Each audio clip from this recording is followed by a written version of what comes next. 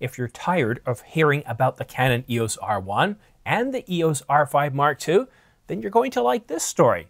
According to Canon rumors, Canon might be releasing a new APS-C camera in 2024. A solid source has let us know that there have been hints about a follow-up of 2022's Canon EOS R7, which is a fine camera, but in our opinion, the follow-up should go slightly upmarket. We think the stacked sensor future at Canon should definitely have an APS-C entry. And that's all we know for the specifications of this new APS-C camera. Now, it isn't 100% known that it's an R7 Mark II, but being released a couple of years ago, there's a lot of people that would like to see some improvements. First of all, let's take a look at the specifications of the Mark I. And that first thing that Canon Rumors talked about is a stacked sensor. And we can see that the Mark I has a 32.5 megapixel APS-C sensor. Increasing that to a stacked sensor would solve some of the critics of the Mark I. And one of those being dynamic range, but also helping with speed and performance as well, reducing any sort of rolling shutter. That would be really beneficial and helpful to this camera, and I would love to see that too.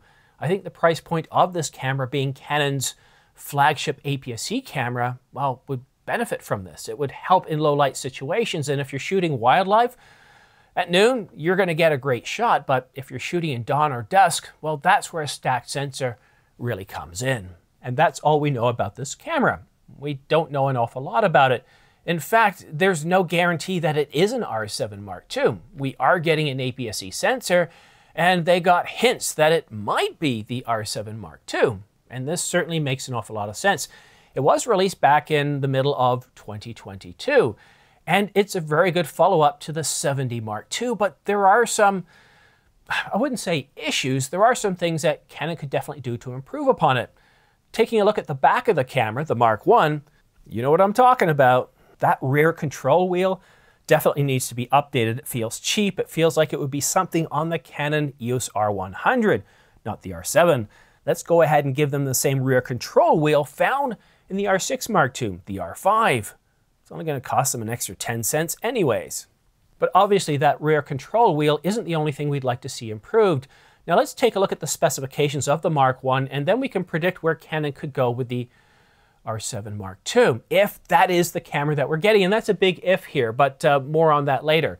So taking a look at the specifications, we can see that the Mark I has a pretty good resolution. 32.5 megapixels APS-C sensor. However, putting in a stacked sensor, as Canon Rumor suggests, would make an awful lot of sense to this camera. Most people buying this camera are shooting wildlife, they're shooting outdoors, and if you're shooting birds in the middle of the day, you're going to get plenty of light coming into that camera. You're not going to have to worry about anything, and the rolling shutter is pretty limited.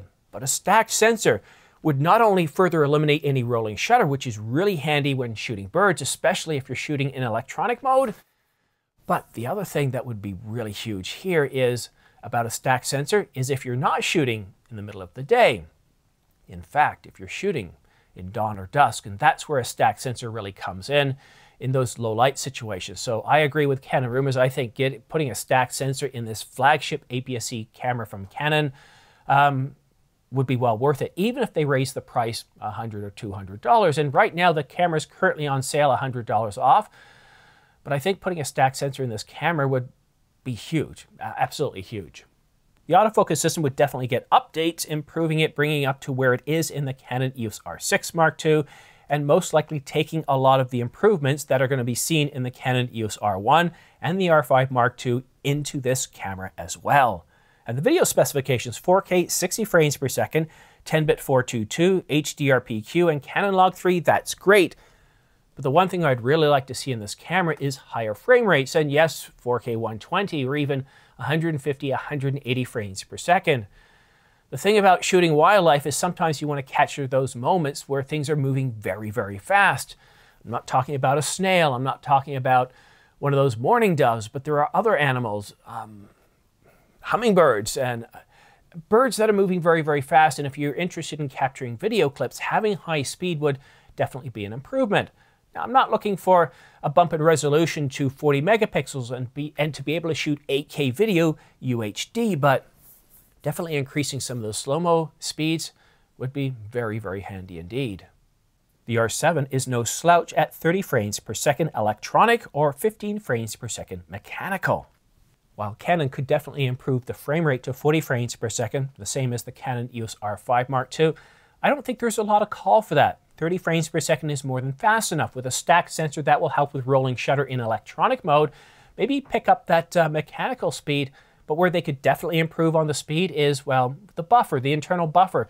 So that way we could shoot for longer and that the buffer could clear quicker. And that's really important. Not many of us are going to be holding down that shutter button for 5, 10, 15, or 20 seconds.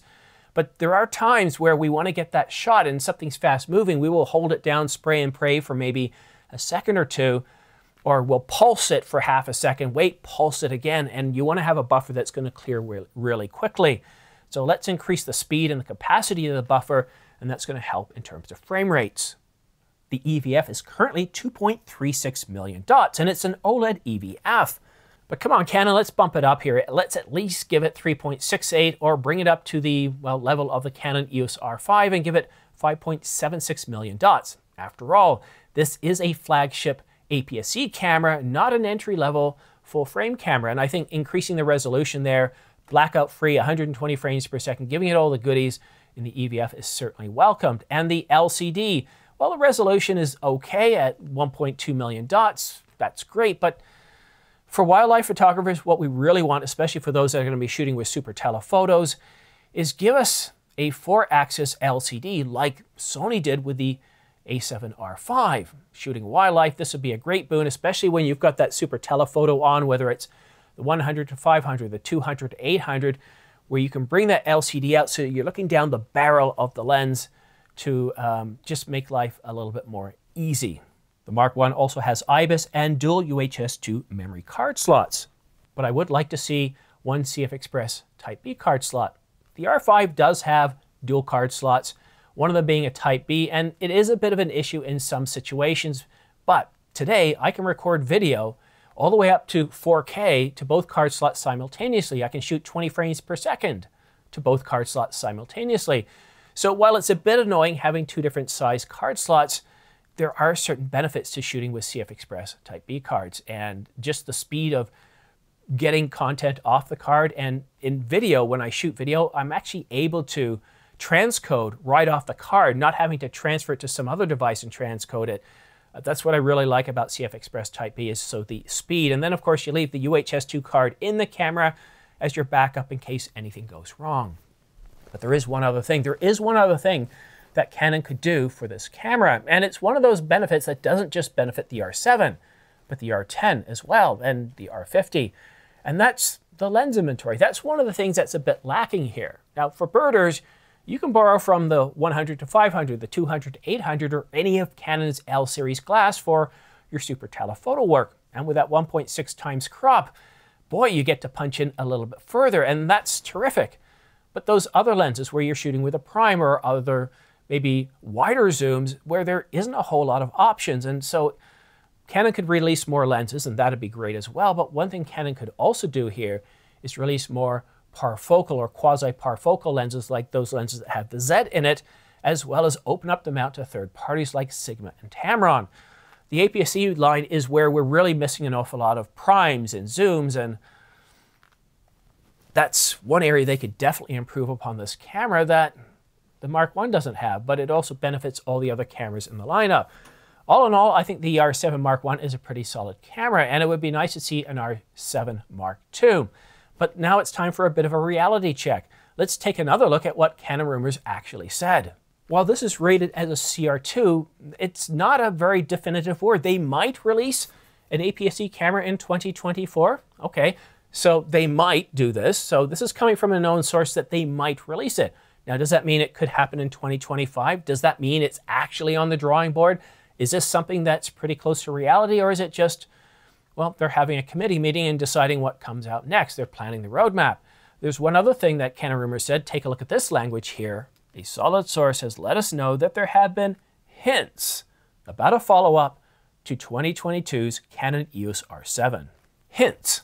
So we've got might and we've got hints. And yes, they're from known and solid sources, but you know, in my line of work, when I'm in a meeting and we're working on things, I'm working with people that are credible, that that they're they're reliable, that they're known and trusted people. And we conjecture, we wonder about what we should do next, what projects we should do, what are the highest priorities for intakes. And we might do this and we might do that. And there's hints of something else. It doesn't mean it's going to come to action. I'd love to see a follow up by Canon Rumors to provide us with a little bit more um, context to this. When they say might, is this something that they've actually said, yes, there's going to be an R7 Mark II? They just don't know if it's going to be between 2024 and 2025. Because remember, mid 2022. That would put, well, mid 2024 as the two year mark and three years into 2025. So, yeah, I, I don't doubt that there's going to be a Mark II, but I don't feel that there's a lot of um, confirmation or validation about anything here. And with all the, how should I say, questionable rumors that have come out over the past year, and I'm not knocking Canon rumors here because again, we're we're, are, we're getting information from known and solid sources, but it seems to be well, they're contradicting each other, and we don't know why. Whether it's disinformation, whether Canon's trying a new technique to get us confusing and guessing and to leak information that's wrong over here and information that's wrong over here, so we miss what's coming right down the middle.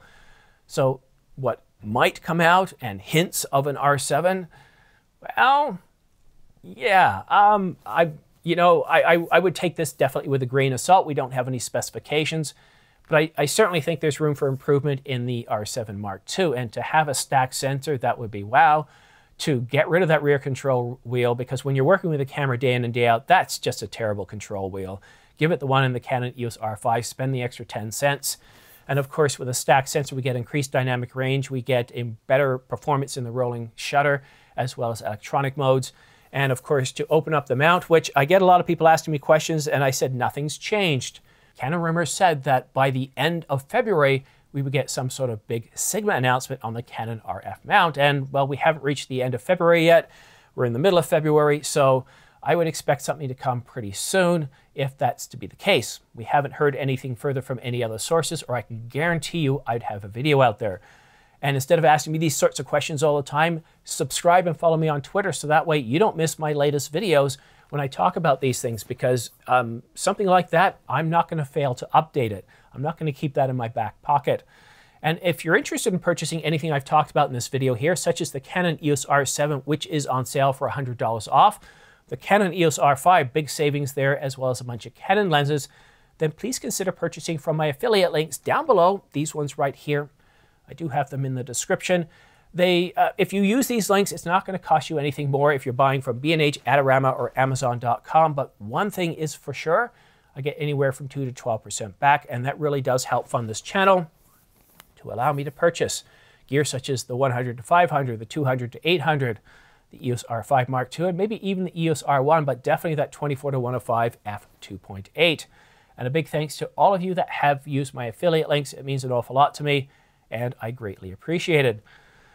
So it's now Thursday morning, but I wouldn't be surprised if we were going to get more information coming out over the next couple of weeks. CP Plus is next week, and usually what happens is any major announcements, well, they get teased and released, actually literally released by the manufacturers, and that usually starts as early as Sunday and then follows up on Monday, Tuesday, and Wednesday before the show actually starts. It's a little bit strange, but that's just how that show works. All the major announcements happen before the show, not at the show. Anyhow, thank you so much for watching. Have yourself a great day, and we'll see you again soon.